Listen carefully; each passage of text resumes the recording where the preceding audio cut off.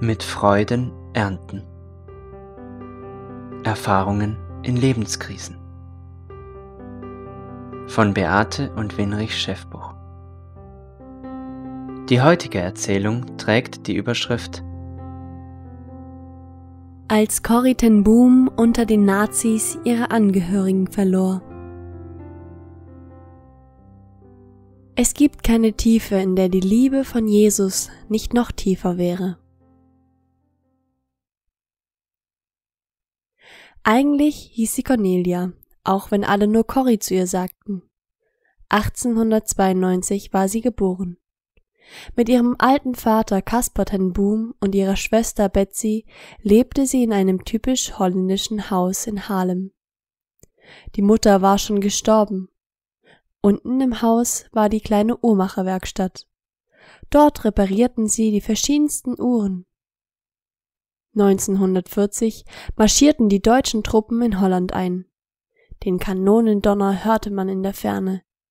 Die Telefonleitungen wurden gekappt. Nach 18 Uhr durfte niemand mehr auf die Straße. Nachts war alles abgedunkelt. Dann kam der 28. Februar 1944. Deutsche Soldaten stürmten ins Haus der Familie Ten Boom und schleppten alle Bewohner auf die Polizeiwache. Obwohl Corrie krank im Bett lag, musste sie mitkommen. Am nächsten Morgen wurden sie auf Lastwagen verfrachtet und ins Gefängnis gebracht. Einer, der um Hilfe gebeten hatte, hatte sie verraten. Das Haus der alteingesessenen Familie Ten Boom in der Barteljoriststraat war nicht groß, aber die Türen waren immer weit geöffnet für allerlei Gäste. Eines Tages waren plötzlich Juden dagestanden, wie gescheuchte Tiere, Sie baten dableiben und untertauchen zu dürfen. So wurde das Haus in Harlem, das alle nur Beje nannten, eine Untergrundadresse. Verängstigte Juden, die ihren Häschern entkommen konnten, wurden hier versteckt. Schließlich waren es über 80 Juden, die für kürzere oder längere Zeit hier Aufnahme fanden. Hinter einem Schrank in ihrem Haus befand sich ein verborgener Raum. Bis zu acht Menschen konnten sich darin verbergen. Sie nannten das Versteck Engelskasten. Selbst jetzt, als die deutschen Soldaten das Haus durchsuchten, wurden die Juden nicht gefunden. Nach zwei Tagen konnten sie sich selbst befreien. Zu diesem Zeitpunkt war die deutsche geheime Staatspolizei abgezogen und die holländische Polizei, die der Widerstandsbewegung freundlich gesonnen war, hatte die Bewachung des Hauses übernommen. Corrie ten Boom steckte man im Gefängnis zunächst in Einzelhaft. Grauenvoll empfand sie die Einsamkeit in der tristen Zelle. O Heiland, du bist bei mir, betete sie. Nimm mir diese Angst weg. Sie war jetzt 51 Jahre alt. Als die schlimmste Strafe empfand sie, dauernd den Launen der mürrischen und gehässigen Wärterinnen ausgesetzt zu sein.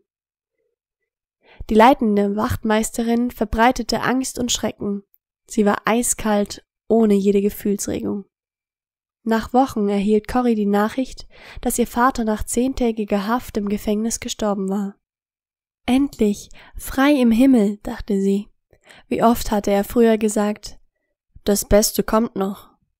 Und auch, wenn ich im Gefängnis sterbe, wird es mir eine Ehre sein, mein Leben für das auserwählte Volk eingesetzt zu haben. An ihre Zellenwand schrieb sie, nicht verloren, nur vorangegangen. Immer und immer wieder wurde sie verhört. Früher in Freiheit hatten sie das oft geübt, darauf acht zu geben, keine Namen zu verraten. Ein hoher Offizier horchte auf, als sie von der Liebe Jesu sprach. Beim Herrn Jesus gelten andere Maßstäbe. Er liebt das Verlorene und verachtete alles, was klein, schwach und arm ist. Vielleicht ist in den Augen Jesu ein Schwachsinniger mehr wert als Sie oder ich. Am nächsten Tag kam der deutsche Offizier wieder. Er hatte nicht schlafen können. Er wollte mehr von Jesus wissen. Jetzt konnte Corrie Boom erzählen. Jesus Christus ist das Licht, das in die Welt gekommen ist, damit jeder, der an ihn glaubt, nicht in der Finsternis bleibe. Dann wurde sie ohne Gerichtsverfahren in das Konzentrationslager Furcht verfrachtet. Machen Sie sich zum Abtransport fertig, hieß es Kommando. Alle Habseligkeiten wurden ihr abgenommen, außer ihrer Bibel. Die hatte sie in einem Kleid versteckt und wurde nicht entdeckt. Unterwegs traf sie unter den anderen Gefangenen ihre Schwester Betsy wieder. Endlich, nach vier Monaten waren sie wieder vereint. Die grausame Einzelhaft war zu Ende. Im Schlafsaal der Baracke im Konzentrationslager waren sie mit 120 anderen Gefangenen zusammengepfercht. Der Arbeitstag war lang und hart. Alles war trostlos. Eine junge Jüdin bat, können Sie mich trösten? Ich fürchte mich so. Betsy betete mit ihr, und plötzlich merkten sie, dass dies ihre neue Aufgabe in diesem schrecklichen Lager sein würde. Sie sollten das schwere Leid und die vielen Sorgen der anderen teilen und auf sich nehmen. Und dann durften sie von dem Reichtum ihres Glaubens austeilen. Als schon der Kanonendonner der Invasionstruppen zu hören war, mussten im benachbarten Lager hinter dem Stacheldraht die Männer antreten. Namen wurden aufgerufen. Viele marschierten zum Tor hinaus. Es wurde totenstill. Dann hörte man Schüsse.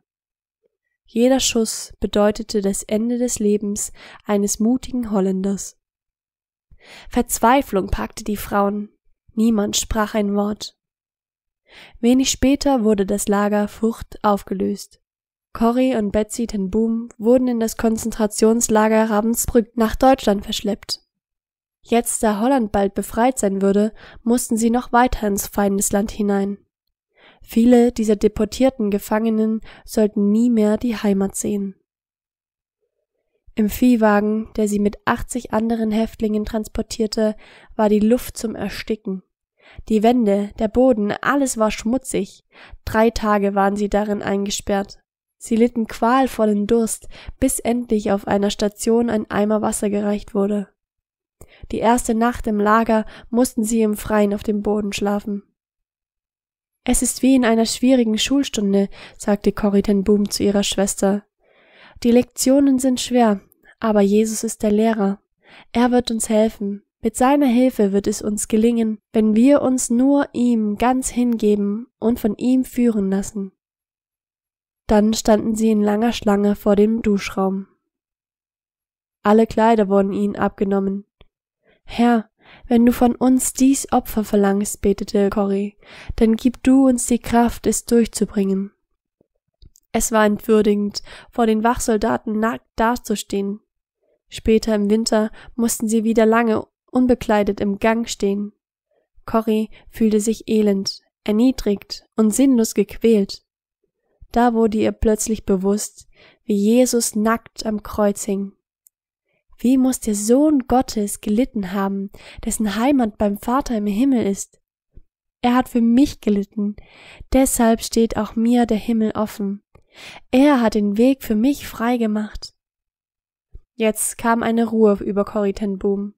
Sie konnte beten, ich danke dir für dein Leben auf Golgatha. Hilf mir, dass ich standhalte und mein Kreuz auf mich nehme, wie du dein Kreuz für mich getragen hast. Gib du mir die Kraft dazu. Die irdische Qual wird in nichts zerrinnen, wenn die himmlische Seligkeit für uns anbricht. Immer wieder musste Corrie ten Boom an das Leiden von Christus denken, wenn sie das Schreien der Gequälten hörte das Schlagen der Hiebe mit den geschwungenen Riemen, das Gekreische des Wachpersonals, das Schluchzen der Gefangenen. All das machte Ravensbrück zur Hölle, berichtete sie später, und auch Jesus hat einst solche Geräusche mit anhören müssen, er, dessen Ohren die Klänge der himmlischen Musik gewöhnt waren. Wie gewaltig muss seine Liebe zu uns gewesen sein, dass er für uns dieses Opfer gebracht hat. Erst später wurde Corrie Boom bewusst, wie sie im KZ reich gesegnet wurde. Nicht nur, weil sie das Leiden von Jesus und seine Liebe neu begreifen durfte. Ich lerne, mich unter allen Umständen nicht auf die eigene Kraft zu verlassen, sondern wie ein Kind alles mit Jesus besprechen, der Sieger ist über alle Schwierigkeiten. Ich sehe immer besser meine eigene Kleinheit und seine Größe und fühle, wie ich geläutert werde und wie mir neue Kraft geschenkt wird. Als sie ein gequältes, schwachsinniges Mädchen in einer Baracke sah, schrecklich abgemagert, konnte sie angesichts dieses Elends nur noch die Bibel nehmen und in der Offenbarung des Johannes lesen, wie Gott einmal alle Tränen abwischen und kein Leid und kein Schmerz mehr sein wird. Auch wenn sie viel nicht begreifen konnte, verstand sie doch. Was da geschrieben steht, ist die Wahrheit. Gott irrt sich niemals. Er sieht den Kummer und das unermessliche Leid und verlangt, dass man sich ihm anvertraut. Er nimmt alles in seine Vaterhand und wir sollen es dort lassen. Ich bin nicht dazu berufen, das Leid und die Sorgen der ganzen um mich umringenden Welt zu tragen. Wenn ich das tun wollte, würde ich rettungslos untergehen. Ich lerne hier beten. Beten ist, alles, was uns bedrückt und beschwert, zum Herrn bringen. Den Koffer voller Sorgen auspacken und ohne Gepäck weitergehen. Heute aber bin ich dumm. Ich packe meine Sorgen wieder ein und nach dem Gebet ist der Koffer fast doppelt so schwer wie vorher. Ich bete, Herr, lehre mich meine Bekümmernisse auf dich zu werfen und den Koffer leer weiterzutragen. Dazu ist nichts Geringeres nötig als dein Geist. Gib mir den, o oh Herr, dann werde ich den wahren Glauben haben. Ich werde so fest glauben, dass mein Koffer leer bleibt. Dann starb Corys Schwester Betsy. Immer wieder war sie krank gewesen, doch trotz Fieber war sie fröhlich und zuversichtlich. Nun war sie in wenigen Tagen total abgemagert. Selbst als sie nicht mehr gehen konnte, musste sie zum Appell geschleppt werden. Auch Sterbende müssen antreten, sagte der Kommandant. Corrie traf jetzt die ganze Trauer und Verzweiflung der Einsamkeit. Doch sprach sie Der Herr hat's gegeben, der Herr hat's genommen, der Name des Herrn sei gelobt. Oft hatte sie es sterbenden Mitgefangenen zugesprochen. Für diejenigen, die dem Heiland angehören, ist der Tod keine Grube, in die man hineinfällt, sondern ein Tunnel, durch welchen man in die Herrlichkeit des Himmels eingeht. Der Zweck unseres Lebens liegt nicht in der kurzen Zeit zwischen unserer Geburt und dem Tod. Unsere Bestimmung ist der Himmel. Am 31. Dezember 1944, als die schwere Winterkälte einbrach, wurde Corrie ten Boom aus dem KZ Ravensbrück entlassen, krank und ausgemergelt. Mit dem Ende des Krieges begann die neue Aufgabe für die 53-jährige Corrie ten Boom. Sie hatte ihr Leben zurückgewonnen. Jetzt bezeichnete sie sich selbst als Vagabund für den Herrn. In aller Welt wollte sie verkünden, wie Jesus in diesen dunklen Tagen immer bei ihr war. Jesus ist Sieger. 33 Jahre war sie unermüdlich unterwegs in 64 Ländern. Am liebsten besuchte sie Menschen in großer Not, auch in den kommunistischen Ländern. Sie sprach unverkrampft und fröhlich in vielen berüchtigten Gefängnissen vor verbitterten Menschen mit verhärtetem Herzen. Und immer erzählte sie ganz anschaulich und praktisch von der großen Liebe Gottes, die ohne Ende ist. Das hatte sie dort im KZ mit ihrer sterbenden Schwester Betsy gelernt. Kein Abgrund ist so tief, dass die Liebe Christi nicht noch tiefer wäre. Trübsal und Bedrängnis, Hunger, Nacktheit und Angst, nichts kann uns von der Liebe Gottes in Christus trennen. Durch Jesus sind wir Sieger, auch über Schwierigkeiten, die uns noch bevorstehen. Es war im Jahr 1947. Nach ihrem Vortrag in einer Kirche in München, da kam ein kahlköpfiger Mann auf sie zu. Langsam erinnerte sie sich wieder. Es war einer jener KZ-Schergen von Ravensbrück, mit dem Totenkopf auf der Uniform und der Lederpeitsche am Gürtel. Jetzt reichte er Corrie Boom die Hand. Das war eine wunderbare Botschaft, wie gut ist es, wie Sie sagten, dass alle unsere Sünden auf dem Grund des Meeres liegen. Bald nach dem Krieg war er Christ geworden. Es waren schreckliche Sekunden, wie er die Hand ausstreckte. Corrie ten Boom kam es vor, als ob es Stunden wären. Ihre Hände waren wie gelähmt. Eiskalt. Sie nestelte an ihrem Geldbeutel. Die furchtbaren Bilder hatte sie vor Augen und die Erinnerung an ihre tote Schwester. Sie musste ihm die Hand reichen, das wusste sie. Über Vergebung hatte sie ja so eindringlich in ihrem Vortrag gesprochen, sonst könnte ihr Jesus auch nicht ihre Sünden vergeben. Aber nun schaffte sie es einfach nicht, diesem Mann die Hand zu reichen. Jesus, hilf mir, betete sie still. In dem Augenblick wusste sie, dass Vergeben nichts mit Gefühlen zu tun hat, sondern allein mit dem Willen. Ihr Arm war gefühllos wie Holz, erzählte sie später, als sie die ausgestreckte Hand fasste. Aber in dem Augenblick ergriff sie Liebe. Sie konnte sagen, ich vergebe ihnen, und sie begriff, wie stark Gottes Liebe ist.